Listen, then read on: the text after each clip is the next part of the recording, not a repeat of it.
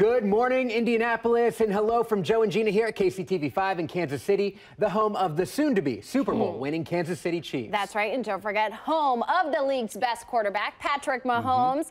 A lot of people going to have their eyes on this Luck Mahomes matchup on Saturday. Going to be an absolute blast to watch. Our Chiefs win, of course. And the only thing that could maybe make it a little more fun, how about a little wager? Hey. Yeah, the only thing Mahomes loves more than ketchup on his steak, that would be some famous Kansas City barbecue. Delicious. We can confirm this stuff is good. So here's Joe and I eating what's known as the Z-Man. So think about brisket, provolone cheese, barbecue sauce, and an onion ring all piled high on a bun.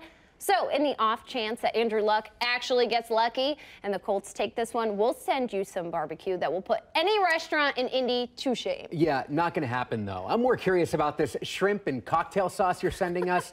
I never really knew Indianapolis was known for any kind of shrimp. No, I'm pretty sure Indianapolis is landlocked. Yeah. Okay, well, anyways, after Saturday, shrimp might be the nickname for your guys on the field. Let's talk about that defense that you guys have. It's terrible at covering tight ends, so prepare for Travis Kelce.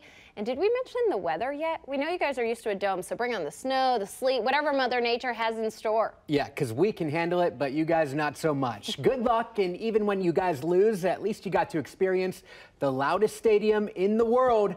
Go Chiefs. We'll see you tomorrow. Hello from Indianapolis. I'm Frank. I'm Rachel. And I'm Star. Okay, so uh, you guys feeling really good about yourselves. You've got a pretty good team over there. Patrick Mahomes and Annie, Annie, Annie, whatever.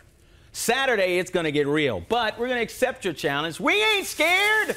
Never. We've got that 1 0 spirit. Yes. Coach Reich coming for you. And it's all about getting hot at the right time, and we are hot at the right time. but on the off chance note, off chance, not likely, ain't not going to happen, that we do not win. We're going to send you a whole bunch of Indiana goodies, including the world famous shrimp cocktail sauce from St. Elmo's oh, Steakhouse. It literally will make you cry, just like we would be on the off chance that we don't win. All right, so you get it. We're winning, but if you win, fine, we'll send you something. On the count of three. One, two, three. Go, Colts!